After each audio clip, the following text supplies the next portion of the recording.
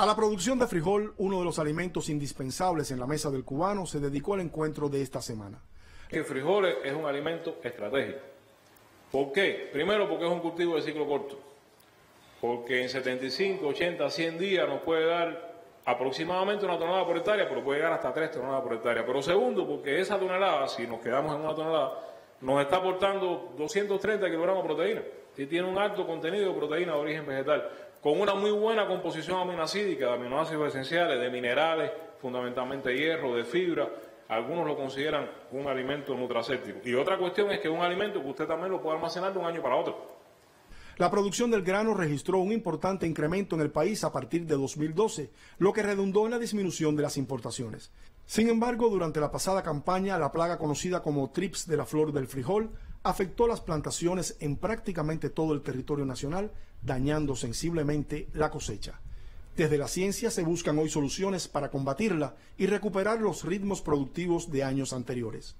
En la reunión se habló del necesario encadenamiento con la industria nacional para potenciar la producción de biofertilizantes y bioplaguicidas y desarrollar nuevos prototipos de maquinarias, implementos, secaderos y sistemas de riego. También de profundizar las investigaciones que posibiliten ampliar la época de siembra del frijol y de acelerar las acciones para su procesamiento como materia prima para la elaboración de varios productos alimenticios. En animado diálogo con los productores, el presidente cubano se interesó, entre otros temas, por las características del cultivo, su comercialización y las trabas que hoy lastran la actividad. Para producir más frijoles hay que poner el paquete que se va a poner por el país, eh, que hace un gran esfuerzo, ponerlo en manos de productores que sean capaces, el que no produzca de una tonelada y media para adelante, no, que no siembre frijol. Hay que ponerlo eh, donde está el riego, donde están los productores con vasta experiencia uno de los factores principales es la integración y llegarle al productor, a la familia del productor.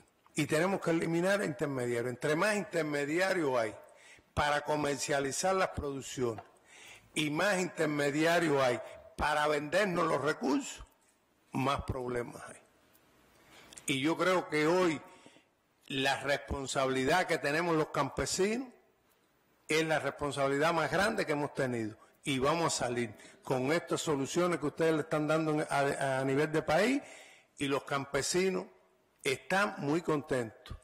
Yo le digo que el campesinado cubano siempre ha respondido a la revolución y hoy le va a responder más que nunca porque lo necesitamos y vamos a salir de este, de este problema económico que tenemos.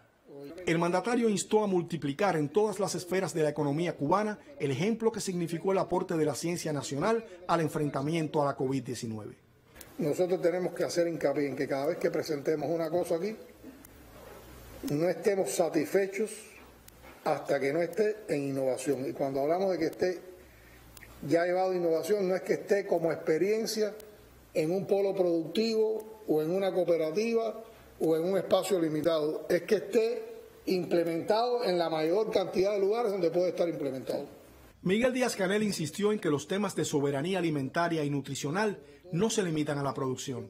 En ellos influyen también otros elementos como los modelos de gestión, la comercialización y las relaciones entre los diferentes actores económicos. Solo una mirada integral permitirá obtener los resultados que el país necesita en esta actividad de vital importancia dentro de la estrategia económica y social con que la mayor de las Antillas se propone enfrentar la compleja situación provocada por la COVID-19 y el bloqueo estadounidense. Héctor Martínez, Sistema Informativo de la Televisión Cubana.